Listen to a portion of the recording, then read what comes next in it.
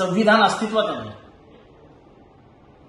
तीनशे चाळीस आणि तीनशे एक्केचाळीस कलम हे मागासवर्गीय शेड्यूल ट्राईब आणि शेड्यूल कास्टसाठी आलं बाबासाहेबांचा मोठेपणा बघा किती तीनशे चाळीस कलमामध्ये त्यांनी मागासवर्गीय म्हणजे आजचे ओबीसी यांच्यासाठी प्रोव्हिजन करून ठेवली.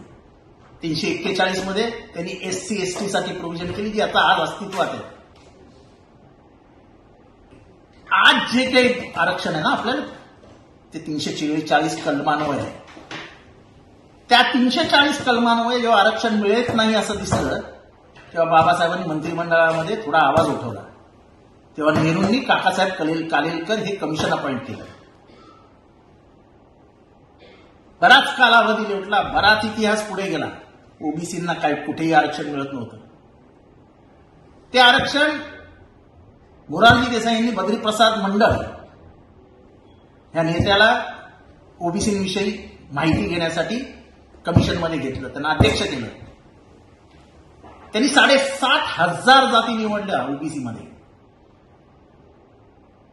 आणि विश्वनाथ प्रताप सिंग यांनी तो अहवाल मान्य केला. पण तो अहवाल अंमलात आणायचा.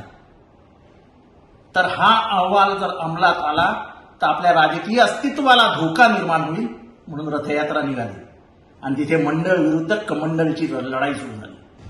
दिल्लीमध्ये एका ओबीसी पोरातला पुढे करून त्यांनी स्वतःला जाळून घेतलं आणि तिथनं दंगलींना सुरुवात झाली.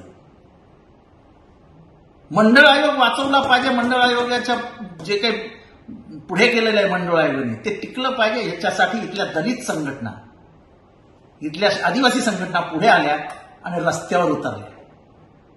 त्यातच शरद पवारांनी मंडळ आयोग ऍक्सेप्ट केला. तेव्हा महाराष्ट्रामध्ये तीनशे बावीस जाती होत्या. आणि त्याच्यानंतर आता ओबीसीला आरक्षण मिळालं. पण ज्यांना कधी आरक्षण द्यायचंच नव्हतं ते कमंडलसाठी लढत होते. आणि ज्यांना आरक्षण हवं होतं आणि आरक्षण टिकलंच पाहिजे ते मंडळासाठी लढत होते. मी काय बोललो ते चुकीचं बोललेलो नाही.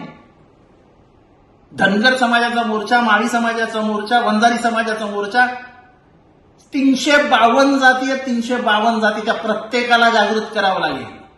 प्रत्येकाला रस्त्यावर आणावं लागेल. या देशामध्ये साठ टक्के आपण असून केंद्र सरकार आपल्याला खेळवत आहे हातावरती.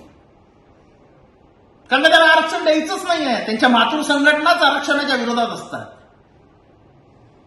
तेव्हा मी जे काल बोललो ते असंही बोलतो की ओबीसी समाजाला रस्त्यावर उतरावं लागेल आणि स्वतःचा हक्क खेचून घ्यावा लागेल. इथे असं देण्यासाठी कोणी जन्माला आलेलं नाही.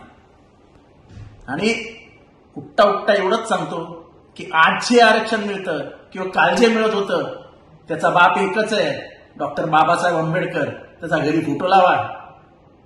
डॉक्टर बाबासाहेब आंबेडकरांनी तीनशे चाळीसावं कलम आणलं नसतं. तू उभ्या आयुष्यात ओबीसीला आरक्षण मिळालं नसतं. आणि खऱ्या अर्थाने जो शोषित आहे जो भटक्या आहे जो विमुक्त आहे जो डोंगरा कपा का कोपऱ्यात राहतो कुठेतरी खाईत राहतो त्याला कधी मूळ प्रभात येताच आलं नसतं.